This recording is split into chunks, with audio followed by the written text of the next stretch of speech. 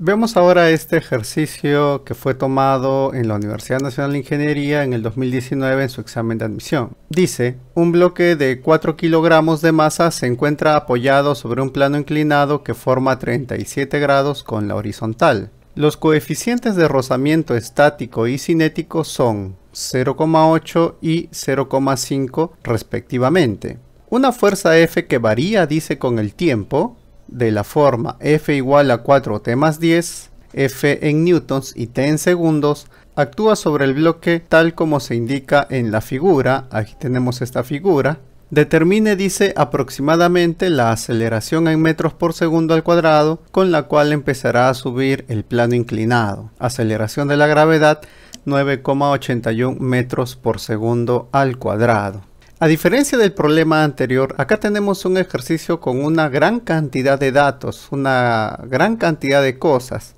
Lo más interesante es el hecho de que la fuerza es una fuerza, según lo que dice el problema, que varía según el tiempo con esta ecuación. Si tomamos esta ecuación como si fuese una ecuación de la posición, se entendería de que este intervalo de tiempo t es lo que marca un cronómetro por lo tanto, este cronómetro puede marcar 0, 1, 2, 3, 4, 5 segundos. Y noten ustedes que si este cronómetro marca 0, la fuerza va a valer 10 newtons, por lo que podemos decir entonces que este bloque va a ser jalado por esta fuerza que va a empezar a jalar con 10 newtons y a medida que va pasando el tiempo, a medida que transcurre el tiempo, el T va tomando valores mayores y la fuerza también va a empezar a tomar valores mayores. Por ejemplo, cuando el cronómetro marque un segundo, la fuerza valdrá 1 por 4 más 10 que sería 14 newtons. Entonces, para solucionar este problema podemos primero decir sobre esta regla de la fuerza que dicha fuerza va a tomar valores mayores o iguales a 10 newtons. Eso a medida que va pasando el tiempo. Entonces, similar a como hemos visto el video en la parte teórica, esta fuerza es la que va a ir aumentando para hacer que este bloque en algún momento empiece a deslizar hacia la parte superior del objeto.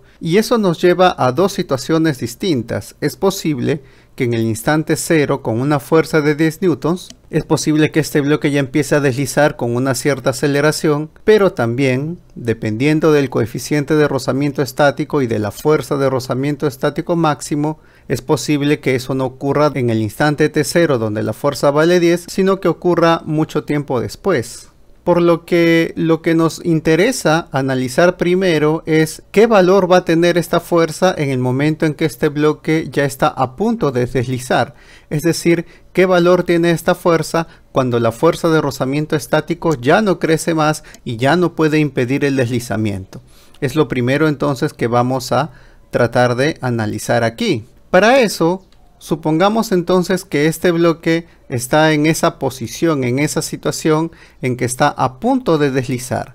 Si es que se encuentra a punto de deslizar, la aceleración en ese momento vale cero y con ese dato es posible determinar cuánto es que vale esta fuerza F. Por lo tanto, para calcular esta fuerza F y relacionarlo con la aceleración, me conviene usar la segunda ley de Newton, lo que significa que hay la necesidad de hacer el diagrama de cuerpo libre del bloque.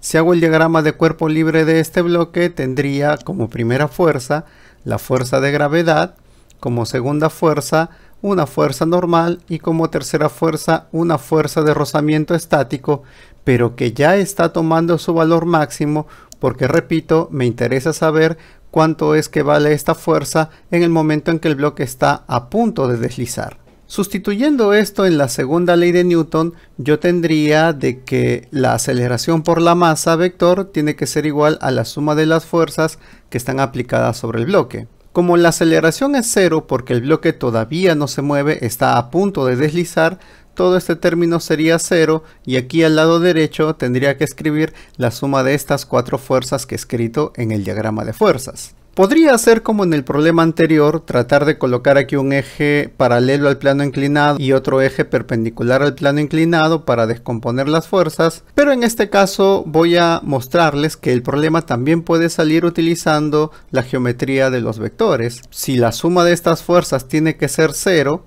Recuerden que para sumar fuerzas hay que dibujar las fuerzas geométricamente de manera consecutiva, de tal manera que el vector suma, que en este caso vale 0, es el vector que va del primer origen a la última punta.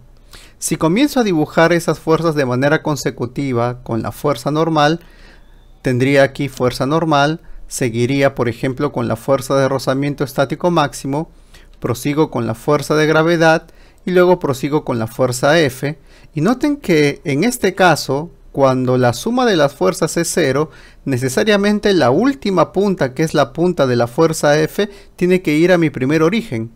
Porque de esa manera, el módulo de la resultante que iría de este primer origen a esta última punta no existiría y por lo tanto sería justamente cero. En general, cuando tienes un conjunto de fuerzas que suman cero, estas fuerzas deben formar un polígono cerrado. En este polígono cerrado se puede ver claramente que la fuerza F que tengo aquí y la fuerza de rozamiento estático máximo son fuerzas paralelas. Aquí tengo un ángulo de 90 grados entre la fuerza F que es paralela al plano y la fuerza normal que es perpendicular al plano. Además noten ustedes que el ángulo que va a formar esta fuerza F que es paralela al plano con algún horizontal que puedo dibujar aquí tiene que ser pues 37 grados, lo que significa que este ángulo debe ser 53 porque la fuerza de gravedad es un vector vertical que va a formar 90 grados con esta línea horizontal. Por lo tanto tengo la geometría suficiente para poder relacionar todos estos módulos que tenemos aquí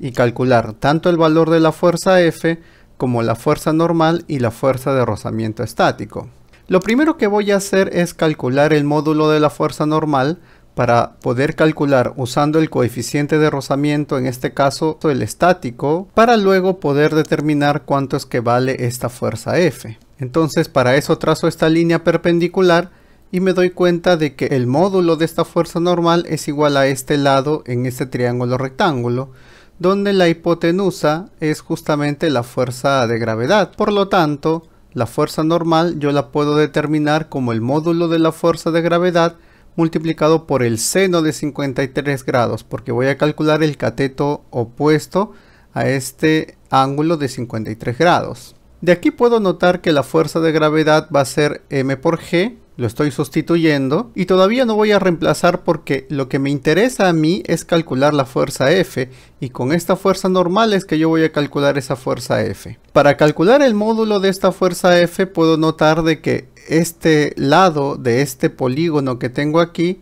va a ser la suma de este lado, que es el cateto adyacente a 53, más este otro pedazo que es equivalente a la fuerza de rozamiento estático máximo. Es por eso que aquí yo escribo eso, ¿no? El módulo de la fuerza F sería este lado, que es fuerza de gravedad por el coseno de 53 grados,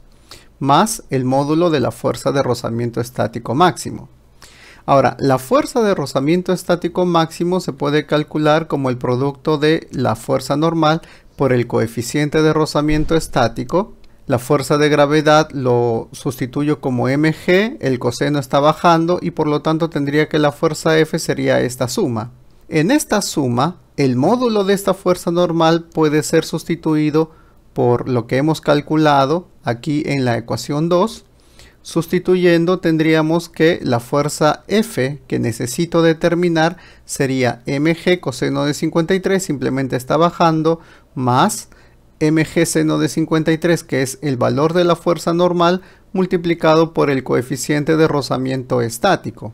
Puedo factorizar mg y puedo notar que la fuerza F con que este bloque está a punto de deslizar va a ser mg coseno de 53 más seno de 53 grados por el coeficiente de rozamiento estático. Ahora sí, aquí sustituyo. La masa es 4 kilogramos, la aceleración de la gravedad es 9,81 metros por segundo al cuadrado, el coseno de 53 grados es 3 quintos y el seno de 53 grados es 4 quintos y el coeficiente de rozamiento estático es 0,8. Haciendo esta multiplicación, el módulo de la fuerza F sale 48,7 newtons, que es mayor a 10 newtons. Eso quiere decir que el instante en que el bloque está a punto de resbalar no es el instante en que el cronómetro marca cero, sino varios segundos después. Eso es aproximadamente 9,6 segundos. Y por lo tanto es en ese instante, unos segundos después, unos instantes después, es que yo debo calcular, según lo que dice el problema, cuánto vale la aceleración que tiene el bloque. Cuando el bloque ya presenta aceleración, la fuerza de rozamiento estático máximo se reduce y pasa a ser una fuerza de rozamiento cinético, pero las demás fuerzas, al ser ese cambio muy rápido, las demás fuerzas no van a modificarse. Entonces vamos a calcular en ese instante, justamente cuando la fuerza de rozamiento estático máximo se reduce a la fuerza de rozamiento cinético, es en ese instante que vamos a calcular cuánto es que vale la aceleración, que ahora es diferente, diferente de cero. Noten que lo único que cambia, a diferencia del instante en que el objeto está a punto de resbalar, lo único que cambia es que la fuerza de rozamiento ya no es la estática máxima, sino que ahora es la fuerza de rozamiento cinético. En consecuencia, básicamente yo podría determinar la aceleración en ese momento mediante la segunda ley de Newton, en la que voy a sustituir la aceleración que ya es diferente de cero y la suma de estas cuatro fuerzas Nuevamente, la fuerza de rozamiento estático ahora se transforma en fuerza de rozamiento cinético. Geométricamente, eso me va a llevar a dibujar estas fuerzas de esta forma. Dibujo la fuerza normal, consecutivamente dibujo la fuerza de rozamiento cinético que es menor que la fuerza de rozamiento estático máximo, dibujo la fuerza de gravedad y ahora dibujo la fuerza F, que va a seguir tomando el valor de 48,7 newtons por lo tanto va a superar a la fuerza normal. ¿no? La suma de estas cuatro fuerzas, que ya las estoy dibujando consecutivamente, debe ser este vector producto aceleración por masa. Por lo tanto, este vector producto sería el vector que va del primer origen a la última punta.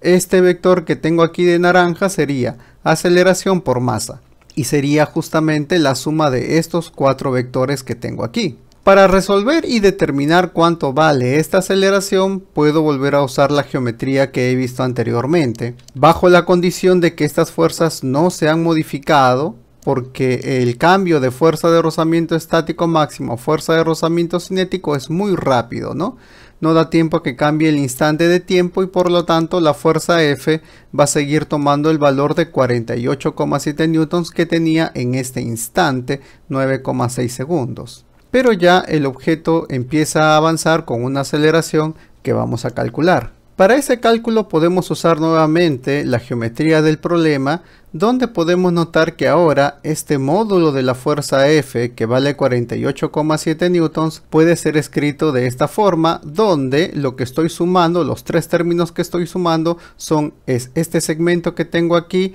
que es la fuerza de gravedad por el coseno de 53 más la fuerza de rozamiento cinético, que es este pedacito que tengo aquí, más la masa por el módulo de la aceleración. Aquí están esos tres segmentos. Sustituyendo tendría entonces que 48,7 newtons sería igual a mg coseno de 53 grados, la fuerza de gravedad vale mg, la fuerza de rozamiento cinético sería igual a lo que teníamos anteriormente sería mg seno de 53 grados, que es el valor de la fuerza normal, por el coeficiente de rozamiento cinético ahora, porque ahora ya el bloque está deslizándose, más el módulo de la aceleración por la masa. Aquí puedo factorizar mg y tendría mg por el coseno de 53 más seno de 53 grados por el coeficiente de rozamiento cinético más el módulo de la aceleración por la masa. Aquí puedo empezar ya a sustituir. Tendría 48,7 newtons, que es el módulo de la fuerza F.